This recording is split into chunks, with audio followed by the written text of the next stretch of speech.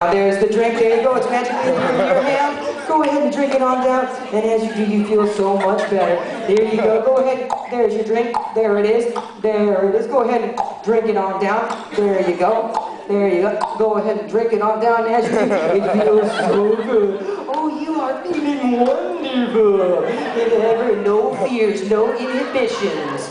No worries, no cares. The rest of the world a million miles away. Drink it on down, yeah? so good. And it's gotten, oh yeah, and that was just a cool, soothing beverage that you need, that you wanted. It's in you now, and it's causing you to get cool inside. In fact, the sun has gone behind a cloud. It's about 72 degrees, and a nice, nice breeze has kicked up, and it's getting cool out because day has turned to night, and it's about 50 degrees. You're starting to, you're starting to feel that chilly feeling, that chilly feeling. Let's see, first I'll touch you now another drink. Drink it on down.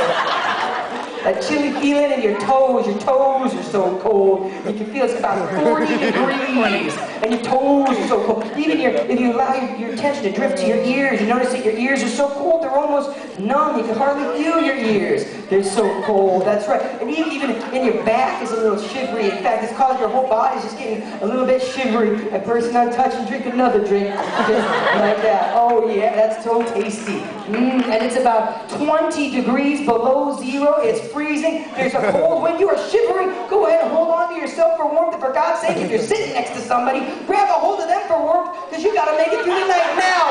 Grab a hold of them for grab a hold of the